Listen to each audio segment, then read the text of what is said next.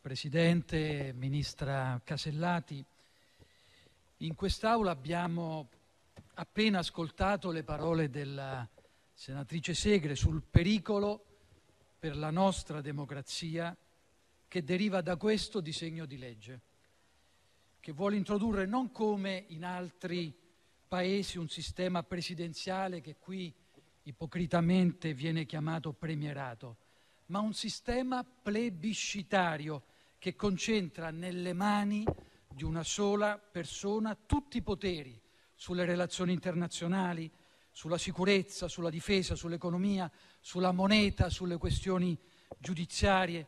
Un'enorme concentrazione senza contrappesi perché al tempo stesso vengono neutralizzate le funzioni di rappresentanza e di controllo sia del Parlamento sia del Presidente della Repubblica.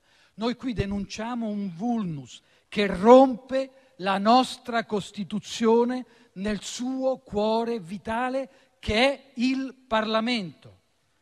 All'indomani del fascismo che aveva colpito a morte il Parlamento, riducendolo, come venne spudoratamente preconizzato, in un bivacco di manipoli, i nostri padri costituenti vollero, articolo per articolo, parola per parola, scrivere la nostra Costituzione repubblicana nella consapevolezza e nel monito che la democrazia e la libertà appena riconquistate sarebbero dovute essere difese dal rischio sempre incombente dell'autoritarismo e del totalitarismo.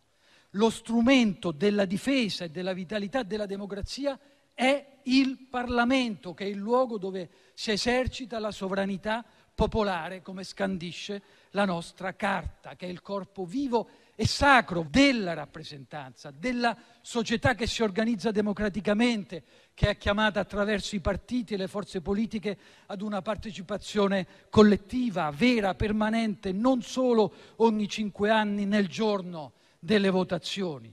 Una partecipazione per concorrere con metodo democratico a determinare la politica nazionale, come dice l'articolo 49. E qui sta il punto, Presidente, colleghi.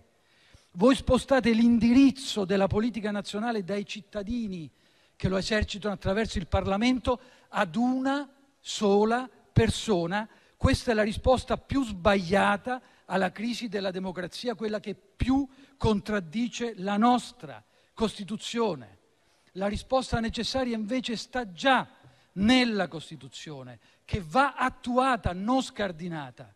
Sta nel rafforzamento dell'iniziativa popolare attraverso il Parlamento, nel rafforzamento delle prerogative parlamentari che invece in questi anni sono state sempre più svilite a favore dell'esecutivo, con un uso abnorme della decretazione d'urgenza, della fiducia, dei decreti presidenziali, dei maxi emendamento, con il rafforzamento dei poteri del capo del governo nell'integrazione europea, con un monocameralismo di fatto, con il taglio dei parlamentari. Anni di rafforzamento dell'esecutivo e di svuotamento del Parlamento che sono stati fallimentari. E c'è un motivo. Una democrazia come un corpo biologico può vivere solo in un equilibrio costante tra i vari centri nevralgici, ma c'è un organo vitale che è il Parlamento, che è l'unico a poter assicurare un impianto pluralista, imperniato sullo Stato di diritto, l'unica forma di governo che possa garantire la convivenza civile, la dialettica.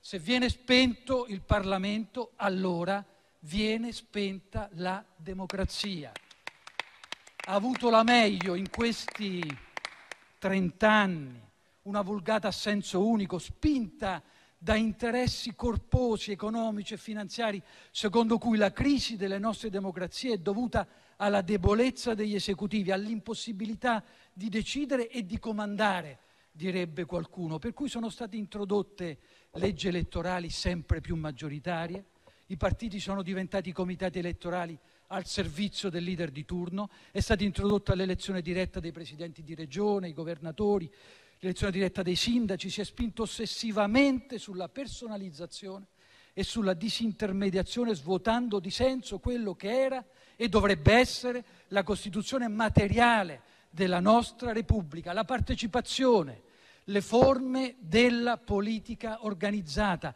la capacità di costruire società con la politica. Tutto questo si è rotto. È falso che la crisi della democrazia sia dovuta al nostro sistema istituzionale. È una crisi dovuta a politiche sbagliate. E quella stessa vulgata che ossessivamente chiede di dare più forza agli esecutivi è la stessa che vuole più austerità, meno diritti, meno Stato sociale. E la crisi delle nostre democrazie è innanzitutto la questione sociale. Sta nelle intollerabili diseguaglianze, nella impossibilità per milioni di persone di realizzare il proprio progetto di vita, di conquistare quel poco tanto di felicità che è la promessa e il patto alla base delle nostre democrazie. E voi, signori del governo Meloni, a questo siete disinteressati, a voi non interessa dare risposte ai problemi, alle istanze sociali e infatti avete cancellato gli strumenti contro la povertà, avete tagliato la sanità pubblica, non avete mantenuto quello che dicevate in campagna elettorale sulle pensioni minime, sulla creazione di posti di lavoro e sull'onda di questi trent'anni spingete il nostro sistema ad un punto di non ritorno. Voi dite dateci pieni poteri, ma è un modo per non dare risposte, per ingannare, per aggirare il tema vero che è la questione sociale.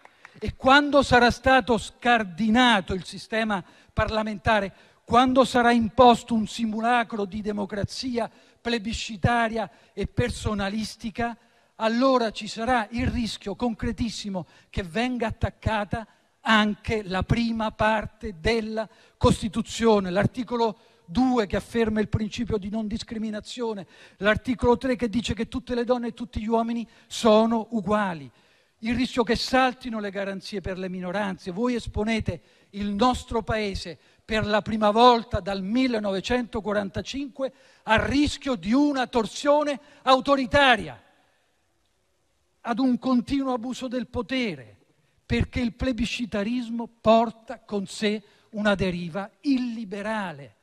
E non è un caso che la quasi totalità dei costituzionalisti di ogni orientamento reputi questo disegno di legge inaccettabile e inemendabile perché contrasta con i principi alla base della nostra democrazia rappresentativa. Laddove esistono i sistemi presidenziali prevedono contrappesi molto forti al potere del capo del governo, innanzitutto come negli Stati Uniti o in Francia, maggioranze parlamentari autonome nella loro formazione e dunque imprevedibile, spesso di colore politico opposto rispetto al Presidente. Nella vostra proposta invece avviene il contrario. Voi inserite in Costituzione una, una previsione già predeterminata di una maggioranza parlamentare vincolata indissolubilmente al mandato presidenziale, eletta contestualmente e che decade contestualmente. Questo toglie ogni soggettività, ogni autonomia al Parlamento e questo toglie al Presidente della Repubblica il suo principale potere in raccordo con la volontà del Parlamento, ovvero la decisione sull'eventuale scioglimento delle Camere.